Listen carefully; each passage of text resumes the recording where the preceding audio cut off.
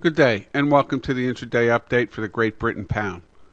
Sterling has broken the 161.95 pivot point to secure the 164 figure peak and the start of a larger decline or emerging new downtrend. Considering the magnitude of the drop thus far, it is tempting to look for an upside correction, either as a second wave or an interim B wave correction. However, as tight 161.50 resistance contains, it appears the market is only in the third wave of a decline to test the 159.75 base.